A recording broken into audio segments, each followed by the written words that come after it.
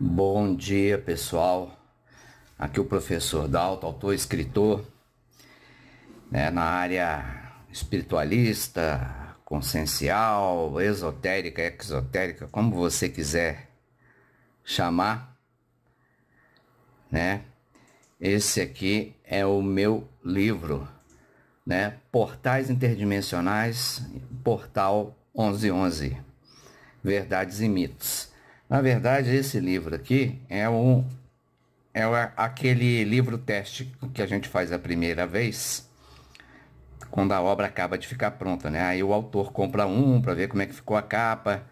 Então, ele tem uma brincadeira aqui, né? Eu sou muito brincalhão, você ver, tá aqui o prefaciado pro Zé Guedes. Isso aqui é só é só piada minha mesmo. Eu, eu brinco demais, né? O livro tá arriscado, é aí eu eu uso para corrigir. Mas o, o, livro já foi lançado há muitos anos, alguns anos, e, e já está corrigido. Já está na segunda edição, que eu alterei o capítulo final totalmente. Deixa eu ver. Aqui, ó. Foi lançado em 2016. Tá aqui, 2016. 2023. Então, 4 mais 3, 7 anos. Então, esse livro já tem 7 anos. Quem fez o prefácio dele foi a Acho que foi a Ilza Andrade, aquela clarividente lá de Salvador, Bahia, amiga minha, se eu não me engano.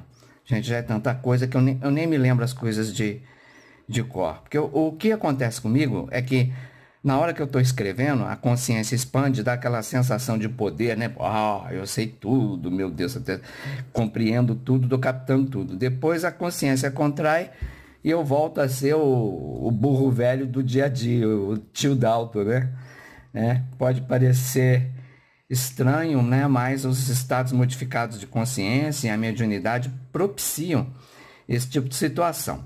Mas é o seguinte, para eu não me estender, eu quero focar mais no portal 1111. Então a gente vê um excesso de, de distorções sobre portais na internet nessas últimas décadas, que é coisa que é um absurdo. O pessoal delira. O pessoal, ah, eu sinto muito dizer assim, mas é verdade, eu não posso pôr pano, panos quentes.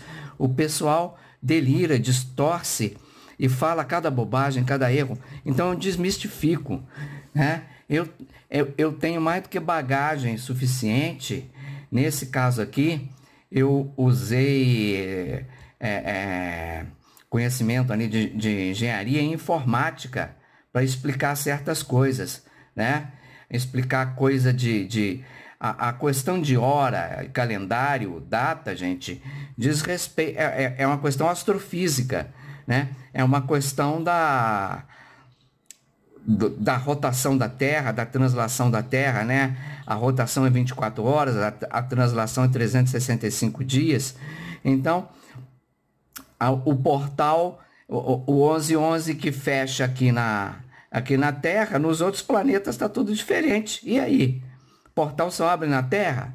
Como é que funciona isso? Então o pessoal delira muito. Então eu desmistifico tudo isso que está aqui. E o livro é ilustrado também, né? Como a maioria das minhas obras técnicas. Cadê minhas ilustrações aqui? O livro é, é um livro ilustrado. Eu, eu ponho os portais aqui. É o livro ilustrado. Ó. Olha como é que foi um portal que vai no, num sentido mais e no sentido menos. Os formatos dos portais, tá? As dimensões dos portais. Tá? Olha só, então, aqui eu fazendo minhas anotações de correção aqui.